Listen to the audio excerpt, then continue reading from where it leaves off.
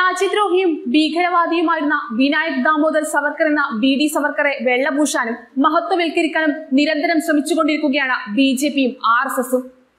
ചരിത്രം വളച്ചൊടിച്ച് സവർക്കറെ വീരപുരുഷനെ ചിത്രീകരിക്കാനാണ് ഇക്കൂട്ടർ പെടാപ്പാടുപെടുന്നത്. സ്വാതന്ത്ര്യ സമരത്തോട് പുറം തിരിഞ്ഞു നിന്നും ബ്രിട്ടീഷുകാർക്ക് വിധേയപ്പെട്ടും ജീവിച്ച ഒരു ദേശദ്രോഹിയായിട്ടാണ് വസ്തുനിഷ്ഠമായി വിലയിരുത്തിയവരെല്ലാം സവർക്കറെ കുറിച്ച് രേഖപ്പെടുത്തിയത്.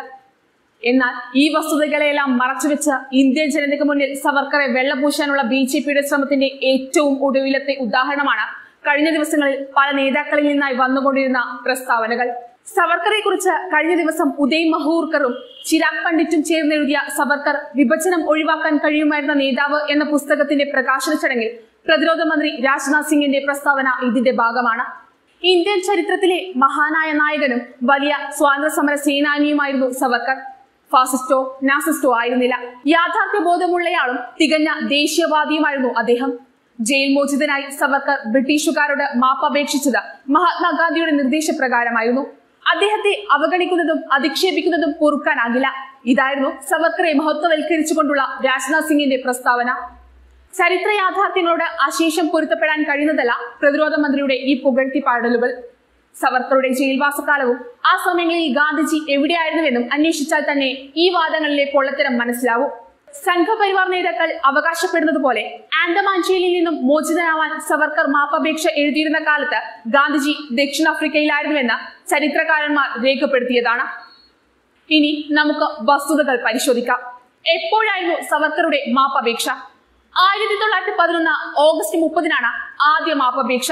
രണ്ടാമത്തേത് ആയിരത്തി തൊള്ളായിരത്തി പതിനാല് നവംബർ പതിനാലിനും. ഇനി ദക്ഷിണാഫ്രിക്കയിൽ നിന്നും ഇന്ത്യയിൽ വന്ന ഗാന്ധിജി എപ്പോഴാണ് സ്വാതന്ത്ര്യ സമര രംഗത്ത് ഇറങ്ങിയതെന്ന് കൂടി പരിശോധിച്ചാൽ കാര്യങ്ങൾ വ്യക്തമാകും. ആയിരത്തി തൊള്ളായിരത്തി പതിനഞ്ചിലാണ് ഗാന്ധിജി ഇന്ത്യൻ രാഷ്ട്രീയത്തിലും സ്വാതന്ത്ര്യ സമരത്തിലുമെല്ലാം പ്രവേശിക്കുന്നത്. അതായത് ആയിരത്തി തൊള്ളായിരത്തി പതിനൊന്നിലും പതിനാലിലും മാപ്പപേക്ഷ എഴുതുമ്പോൾ ഗാന്ധിജി ഇന്ത്യയിൽ നിന്ന് അർത്ഥം. ഇക്കാലത്തിനിടയിൽ ഗാന്ധിജിക്ക് സവർക്കറുമായി ബന്ധം സ്ഥാപിക്കുന്ന ഒരു രേഖ പോലുമില്ല. സവർക്കറുടെ ഈ മാപ്പപേക്ഷയുടെ ന്യായീകരണങ്ങൾക്കിടയിൽ ഓർത്തുപോകുന്ന മറ്റൊരു പേരാണ് എം വി നാരായണ മേനോൻ. കേരളത്തിലെ അല്ലെങ്കിൽ ഇന്ത്യയിലെ തന്നെ സ്വാതന്ത്ര്യ സമര ചരിത്രത്തിൽ ഏറെ കൊണ്ടാടപ്പെടേണ്ട നേതാവായിരുന്നു എം വി നാരായണ മേനോൻ. വ്യക്തിപരമായ നഷ്ടങ്ങളൊന്നും പരിഗണിക്കാതെ യാതൊരു വിട്ടുവീഴ്ചയുമില്ലാതെ ബ്രിട്ടീഷ് ഭരണകൂടത്തിനെതിരെ പോരാടിയ നേതാവായിരുന്നു അദ്ദേഹം. ജയിൽ വാസകാലത്ത് മോചിതനായി മാപ്പപേക്ഷ നൽകാൻ അദ്ദേഹത്തെ പ്രേരിപ്പിക്കണമെന്ന് ഗാന്ധിജി തന്റെ ഭാര്യയോട് നിർദ്ദേശിച്ചതറിഞ്ഞ് അക്കാര്യത്തിന് നീ ഇവിടെ വരേണ്ട എന്ന് ശഠിച്ച നീ ധീരനായിരുന്നു അദ്ദേഹം. ഈ ഒരു നിലപാട് മൂലം പതിനാല് വർഷമാണ് നാരായണ മേനോൻ ജയിലിൽ കഴിഞ്ഞത്. ബ്രിട്ടീഷുകാർ പതിനൊന്ന് തവണ ഗാന്ധിജിയെ ജയിലിൽ അടച്ചിട്ടുണ്ട്. എന്നാൽ തന്നെ ജയിലിൽ മോചിതനാക്കണമെന്ന് ഒരിക്കൽ പോലും ഗാന്ധിജി മാപ്പപേക്ഷ എഴുതിയിരുന്നില്ല.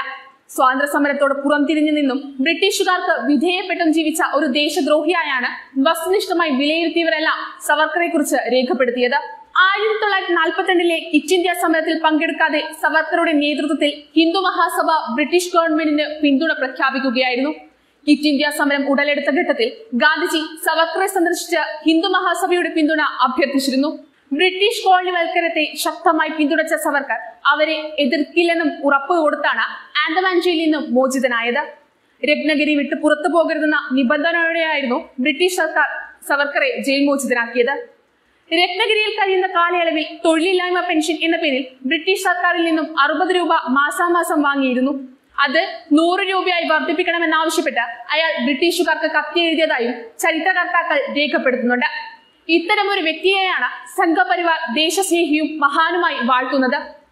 വളച്ചൊടിക്കപ്പെട്ട ചരിത്രങ്ങളുടെ നിർമ്മിതിയിലൂടെ സവർക്കറെ വീരപുരുഷനായി ചിത്രീകരിച്ചുകൊണ്ട് ഗാന്ധിജിക്ക് തുല്യമായോ അതല്ലെങ്കിൽ ഗാന്ധിജിക്ക് മുകളിലോ പ്രതിഷ്ഠിക്കാനാണ് ബി ജെ പി ശ്രമിക്കുന്നത്. സവർക്കറെയും ഗോഡ്സെയും വാത്തോരാതെ പ്രകീർത്തിച്ച് ഗാന്ധിയൻ ചിന്തകളെയും ആശയങ്ങളെയും പറിച്ചു മാറ്റാൻ കരങ്ങളുയർത്തുന്നവർക്ക് മുന്നിൽ ചരിത്രങ്ങൾ പാടിയും പറഞ്ഞും ഓർത്തുകൊണ്ടേയിരിക്കും.